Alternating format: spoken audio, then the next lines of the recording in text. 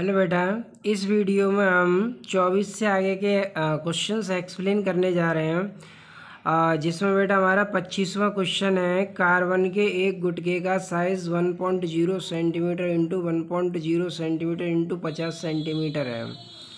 प्रतिरोध ज्ञात कीजिए गुटके के वर्गाकार सिरों के बीच तथा दो आयताकार विपरीत, कार्बन का विशिष्ट प्रतिरोध रो विशिष्ट प्रतिरोध क्या होता है बेटा? रो रो दे रखा है तुम्हें तीन पॉइंट पाँच। तो यहाँ पर बेटा हमने विशिष्ट प्रतिरोध निकाल लिया, तीन पॉइंट पाँच, दस पैगात माइनस के तीन ओम इंटू सेंटीमीटर। सेंटीमीटर को कन्वर्ट कर दिया माइनस दो में तो कितना हो गया बेटा? तीन पॉइंट पाँच इंटू दस पैगात माइनस के पाँच ओम इंटू मीटर। ये बेटा हमने एक घनाकार फलक बनाया है। इस घनाकार फलक में बेटा तुम, तुमने देखा ये वन वन सेंटीमीटर ये वर्गाकार फलक हो गया और ये आयताकार फलक हो गया। तो पहले पूछा है बेटा, वर्गाकार फलक के बीच में तो वर्गाकार फलक के बीच में हम वर्ग का क्षेत्रफल लेना है और वर्ग का क्षेत्रफल क्या हो जाएगा? ये इन दोनों का गुणनफल। और फिर हमें लेना है आयत का क्षेत्रफल। तो आयत के क्षेत्रफल में क्या हो जाएगा? एल इंटू बी हो जाएगा एच ये हो जाएगा। तो यहाँ पर बेटा पहले हमने क्या किया? वर्गाकार सिरों के बीच प्रतिरोध। तो वर्गाकार सिरों के बीच प्रतिरोध देखेंगे तो एल कितना हो जाएगा बेटा? पचास सेंटीमीटर, पचास गुणा दस पैगात माइनस के दो। और इस वर्ग का हमें क्या करना है? क्षेत्रफल ज्ञात करना है। तो एक सेंटीमीटर गुणा एक सेंटीमीटर एक सेंटीमीटर गुणा एक सेंटीमीटर, यानी कन्वर्ट कर दें दस पैगात माइनस का चार मीटर स्क्वायर हो जाएगा। ठीक है बेटा? क्योंकि वर्गाकार सिरों के बीच पूछा था, इसलिए हमने वर्ग का क्षेत्रफल ले लिया यहाँ पे, और लंबाई उसकी पचास हो गई। अब यहाँ प्रतिरोध का सूत्र लगाएँगे बेटा, आर बराबर रो एल अपॉन ए, और रो का बेटा मान कितना था? तीन पॉइंट पाँच दस पैगात माइनस के पाँच तो ये बेटा हमने यहाँ रख दिया तीन पॉइंट पाँच दस पैगात माइनस के पाँच। एल की वैल्यू कितनी थी बेटा? पचास सेंटीमीटर तो यहाँ लिख दिया हमने पचास गुणा दस पैगात माइनस के दो मीटर। ए की वैल्यू कितनी है? दस पैगात माइनस के चार तो यहाँ लिख दिया हमने दस पैगात माइनस के चार। माइनस दो और ये माइनस चार ऊपर ले जाएँगे तो प्लस की हो जाएगी, घटा देंगे तो माइनस एक बचेगा। माइनस दो ये तो कितना हो जाएगा? माइनस का तीन। पचास का इसमें मल्टीप्लाई कर देंगे। अब मल्टीप्लाई नहीं किया, ज़ीरो से एक पॉइंट हटा दिया तो पैंतीस गुणा पाँच हो गया। इसके इसमें मल्टीप्लाई कर तो कितना हो? एक सौ पचहत्तर। दस पे घात माइनस तीन अगर घात हटानी है तो क्या हो जाएगा बेटा? Point one seven five ohm. ये आंसर हो जाएगा इसका। इसके बाद है बेटा, दो आयताकार विपरीत फलकों के बीच। अब देखो, आयताकार फलक पूछ रहा है तो अब हमें आयत का क्षेत्रफल लेना यानी लंबाई ये, चौड़ाई ये। तो क्षेत्रफल अब क्या हो जाएगा? लंबाई हो जाएगी बेटा, अब एक सेंटीमीटर। क्या हो जाएगा? एक सेंटीमीटर तो मीटर में कन्वर्ट कर देंगे, एक गुणा दस पैगात माइनस के दो मीटर और क्षेत्रफल क्या हो जाएगा? एक सेंटीमीटर गुणा पचास सेंटीमीटर क्योंकि अब आयताकार के बीच पूछा है, और आयत की आयत की लंबाई है पचास और चौड़ाई है एक सेंटीमीटर तो यहाँ पर बेटा हमने एक गुणा पचास सेंटीमीटर लिया तो पचास गुणा दस पैगात माइनस चार हो जाएगा। फिर वैल्यू बेटा हमने यहीं रख दी रो का मान रख दिया तीन पॉइंट पाँच, दस पैगात माइनस के पाँच।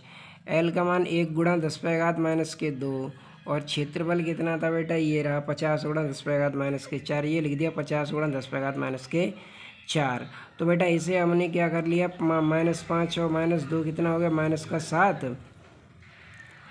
माइनस का सात हो गया और ये ज़ीरो से एक गात कम कर दिया। माइनस का तीन बचा, माइनस के तीन को ऊपर ले गए, प्लस माइनस का कितना बचा? चार बचा। तीन से पाँच से तीन पॉइंट पाँच काट दिया, पॉइंट सेवन बचा, यानी सात गुणा दस पैगात माइनस के पाँच ओम।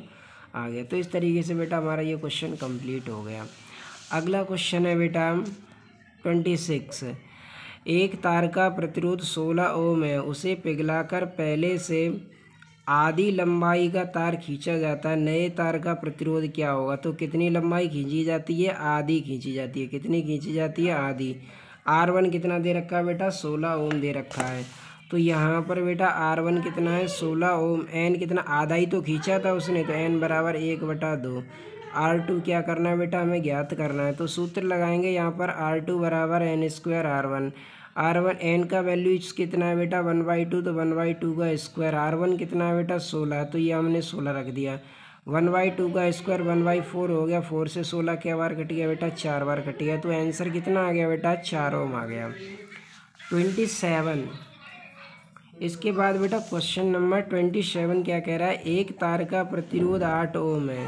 प्रतिरोध कितना बेटा? आठ ओम। इसे दो गुनी लंबाई तक खींचा जाता है। खींचा कितना जाता है बेटा? दो गुना लंबाई तक खींचा जाता है।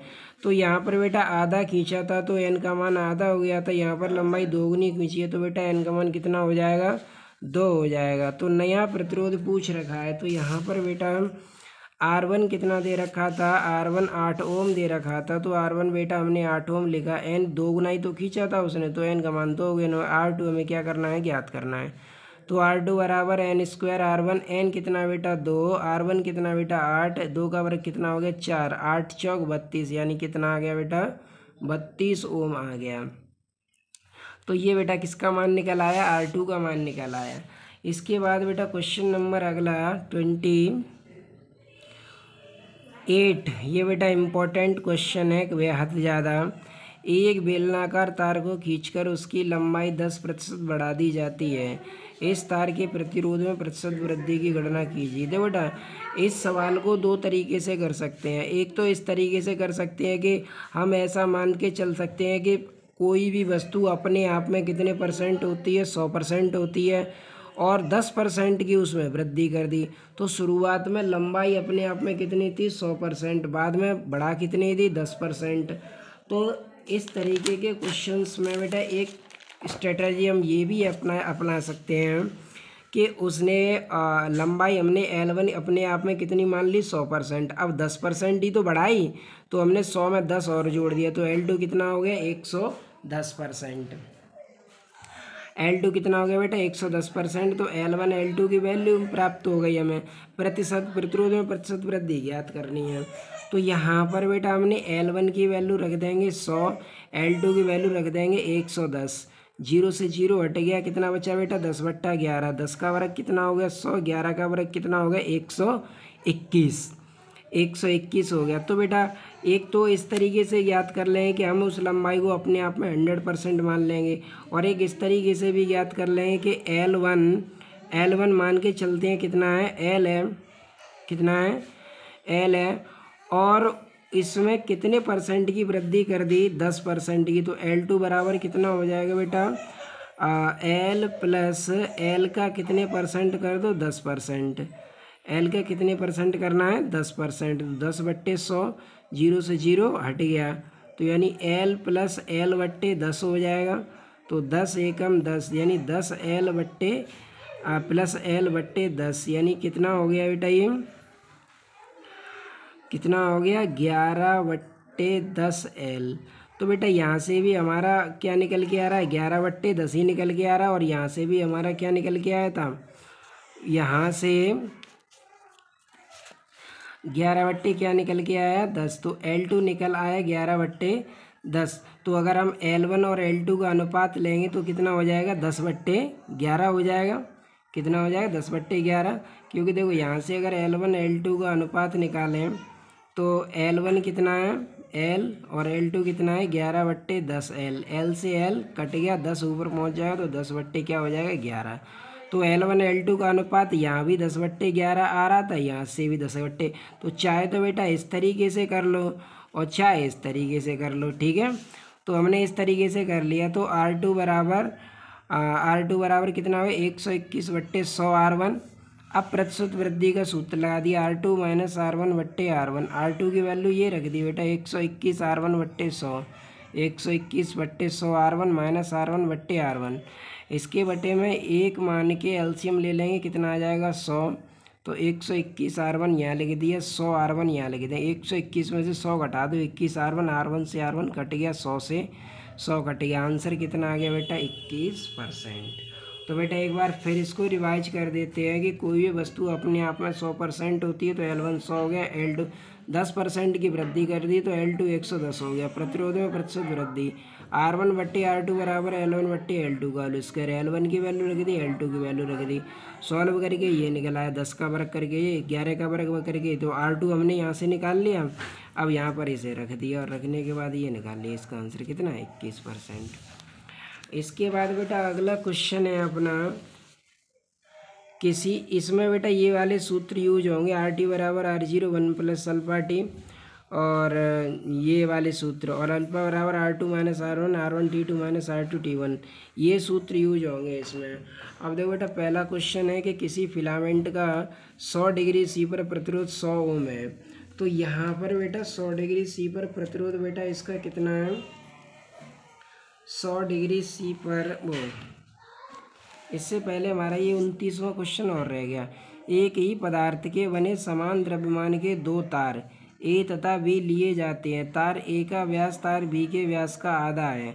तो तार ए का व्यास, बी के व्यास का आधा है। यदि तार ए का प्रतिरोध चौबीस ओम हो तो तार बी के प्रतिरोध की गणना कीजिए। तो देखो बेटा, तार ए का व्यास तो तार ए का व्यास हमने मान लिया डी तो त्रिज्या क्या हो जाएगी? D by two. और तार बी का व्यास, अब ए का व्यास बी का आधा ही तो है। तो बी का व्यास टू डी होना चाहिए, तभी तो आधा होगा डी तो हमने बी का व्यास मान लिया टू डी तो त्रिज्या कितनी हो जाएगी डी चूँकि आधा करेंगे तो डी हो जाएगी। हमें आर बी निकालना है इसका तो सूत्र लगा देंगे R A upon R B बराबर आर बी बट्टे आर ए का whole power whole power four R B कितना है बेटा? डी यह लिख दिया डी आर ए कितना है? आर ए कितना है? डी वाई टू तो आर स्मॉल आर ए कितना है? डी वाई टू और आर वी कितना है बेटा? डी तो यहाँ पर लिख देंगे आर वी की जगह डी और आर ए की जगह पर डी वाई टू पहली चौथी करेंगे टू पर पहुँचेगा two D upon D D से डी कटे गया दो पे घात चार का मान कितना हो गया? सोलह। तो R A upon R B बराबर सोलह। आर ए बेटा कितना दे रखा था हमें? चौबीस ओम।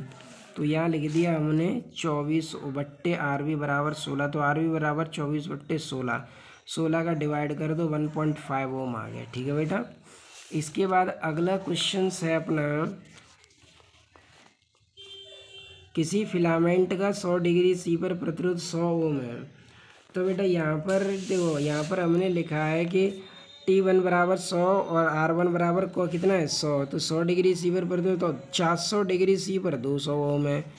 तो चार सौ पर प्रतिरोध कितना है? आर टू टी टू बराबर चार सौ तो आर टू कितना है? दो सौ। अल्फ़ा पूछ रखा है उसने। ताप गुणांक ज्ञात कीजिए। तो हमें क्या ज्ञात करना है? ताप गुणांक यानी अल्फ़ा ज्ञात करना है। तो अल्फ़ा ज्ञात करना है तो देखो बेटा, यहाँ पर टी वन टी वन है हमारे पास, ये रहा। आर वन है हमारे पास टी टू है हमारे पास आर टू है हमारे पास। तो ताप गुणांक के लिए हम ये वाला फॉर्मूला लगाएँगे। तो बेटा, यहाँ से हमने ये वाला फार्मूला लगा लिया। ये वाला R two minus R one बट्टे R one T two minus R two T one ये बेटा वैल्यूज़ यहाँ पर ये सारी वैल्यू रख देना और यहाँ से अल्फ़ा का मान निकाल लेना, ठीक है? अगला क्वेश्चन बेटा पढ़ते हैं क्वेश्चन नंबर थर्टी वन किसी वैद्युत बल्ब के तंतु का सौ डिग्री सी पर प्रतिरोध सौ ओम है, यानी टी वन सौ है और आर वन सौ है। ताप गुणांक alpha zero point zero five प्रति डिग्री सी ये अल्फ़ा का मान दे रखा है। ताप की गणना कीजिए, यानी टी टू ज्ञात करना है और आर टू दे रखा है दो सौ। तो बेटा ये क्वेश्चन इसी का विपरीत है। इसमें अल्फ़ा पूछा था उसने और इसमें ये वाला मान पूछा है टी टू पूछा है, सौ डिग्री, चार सौ डिग्री से। तो यहाँ पर बेटा हमने ये वैल्यूज़ लिख रखी हैं इसकी। कि टी वन कितना है बेटा? टी वन है सौ डिग्री सेंटीग्रेड और आर वन है सौ ओम। अल्फ़ा कितना है? ज़ीरो पॉइंट ज़ीरो फाइव प्रति डिग्री सी टी टू ज्ञात करना है। आर टू कितना है बेटा? दो सौ ओम। ठीक है तो बेटा यहाँ पर फॉर्मूले लगाएँगे। अल्फ़ा बराबर R two minus R one बट्टे R one T two minus R two T one ठीक है बेटा? तो आर टू कितना है बेटा? दो सौ ओम। यहाँ हमने दो सौ ओम लिख दिया। आर वन कितना है? सौ ओम यहाँ सौ ओम लिख दिया।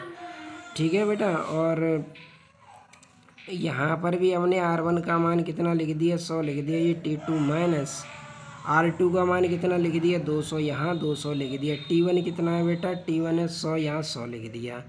ठीक है बेटा? तो सारी वैल्यूज़ हमने पुट कर दी। एक बार फिर बता दें तो मैं आर टू का मान आर टू का मान कितना है? दो सौ। यहाँ दो सौ लिख दिया। आर वन का मान कितना है? सौ। यहाँ बेटा सौ लिख दिया। और फिर आर वन का मान यहाँ सौ है और आर टू का मान दो सौ है। तो ये वैल्यूज़ रख दी टी वन का मान ये रख दिया। अब यहाँ से बेटा क्या करिए, दो सौ दो सौ में तो सौ घटा दिए, ये कितने बचे? सौ। इस वाली वैल्यू को मैंने इधर पचानतर कर दिया, इसका इसमें गुणा करके तो चार ज़ीरो आ जाएँगे। पॉइंट हटा के ऊपर बढ़ा दिए, क्या ज़ीरो बढ़ाई? तीन। पाँच से इसे काट दो, क्या बार कट गया? दो बार। तो दो, बीस हज़ार और बीस हज़ार कितना हो गया? चालीस हज़ार।